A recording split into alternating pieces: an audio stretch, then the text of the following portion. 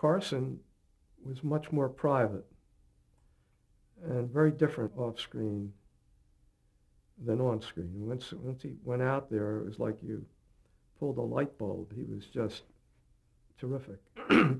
Carson's career was amazing. And I negotiated his first deal in 62.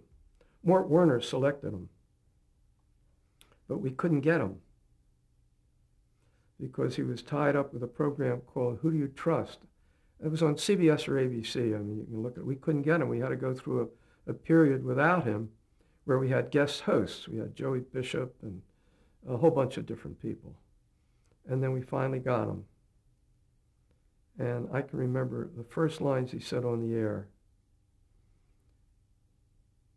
In those days, as I indicated about the Olympics, in many markets, the network didn't come on when the news finished because the news was only 15 minutes long. But you had to fill the first 15 minutes. So the first 15 minutes was hosted by Groucho Marx in the studio in New York City. And he introduced, you know, when the show came on at 11.30, he introduced a new host of uh, the Tonight Show, Johnny Carson. Johnny Carson came out. I don't think they preserved the Kinney or whatever the hell it is. They didn't, re- they didn't keep it.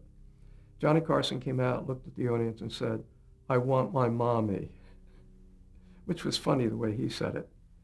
But he was, he was the biggest star in the history of NBC. 30 years doing it, profitable years for NBC, great host of the Oscars when he did it, great, great entertainment image for the company.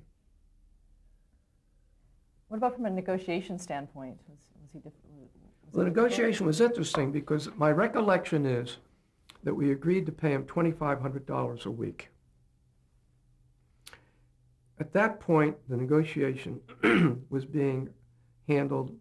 I mean, this is really inside stuff that nobody, by Sonny Werblin, the most important agent in New York City, MCA, Mr. New York, Sonny. I think it was $2,500 a week. Then we learned that we couldn't get him. The other network wouldn't release him. So the sub-agent was a fellow called Herb Rosenthal, MCA, worked for Sonny. And he called me up, said, we want, now that you can't get him, we want more money because he's not coming now. So I said, well, I don't know about that. We're sticking with our price. I called Kintner, who was close to Werblin. Kintner called Werblin. About an hour later, I got a call, Herb, we got him. Just that simple. And I think it was 2500 Now, his salary went up considerably after that, and rather quickly, because he was really a find.